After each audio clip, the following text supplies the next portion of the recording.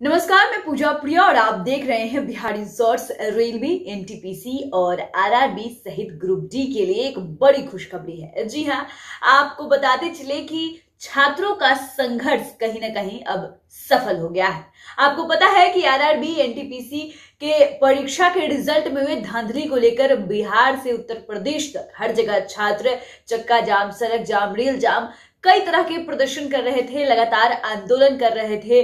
Police से पिटाई भी खाए बहुत सारी बातें चले। लेकिन अब जाकर उनका ये संघर्ष जो है, सफल हो गया है और उनके लिए एक बड़ी खुशखबरी मिलने वाली है। क्योंकि छात्रों के सभी मांगों को अब रेलवे बोर्ड ने मान लिया है और इसका नोटिफिकेशन भी जारी कर दिया गया है।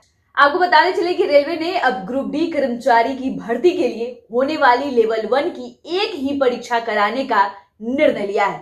पहले दो कंप्यूटर आधारित परीक्षाएँ होती थी। उच्च स्तरीय समिति की रेलवे बोर्ड को दी रिपोर्ट के आधार पर यह फैसला किया गया है। पाँच राज्यों के चुनाव नतीजों के बाद इस निर्णय की जानकारी दी गई है। रेलवे भर्ती बोर्ड के लेवल वन और एनटीपीसी परीक्षाओं में गड़बड़ी के विरोध में प्रदर्शनकारियों की सभी मांगे मानते हुए ये फैसला हुआ है।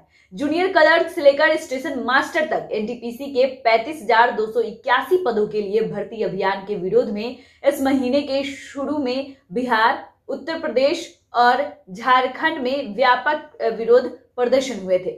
साथ ही आपको बताया चले, रेलवे ने कहा है कि एनटीपीसी के रिक्त पदों के लिए दूसरे चरण की कंप्यूटर आधारित परीक्षा में शॉर्टलिस्ट उम्मीदवारों की संख्या अलग अलग श्रेणियों में रिक्त पदों से 20 गुना अधिक होगी।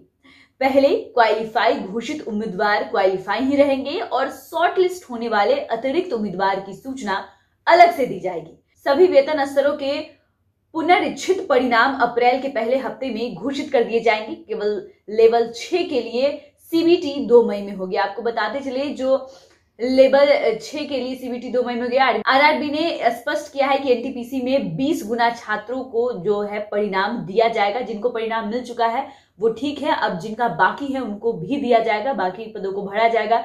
यूनिक उम्मीदवारों का आरआरबी करेगा चयन। गठित कमेटी ने यह फैसला किया है। सभी वेतन स्तरों से पुनरीक्षित परिणाम अप्रैल के पहले हफ़्ते में घोषित कर दिए जाएँगे।